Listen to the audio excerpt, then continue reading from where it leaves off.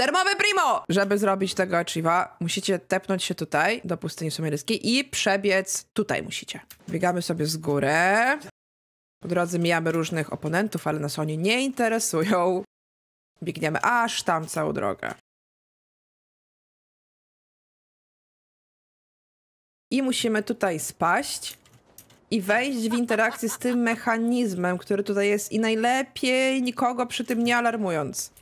O, widzicie, tam się pojawiła nad nią taka ikonka, ale dobra, najpierw wchodzimy w interakcję z tym mechanizmem i klikamy tę pierwszą opcję.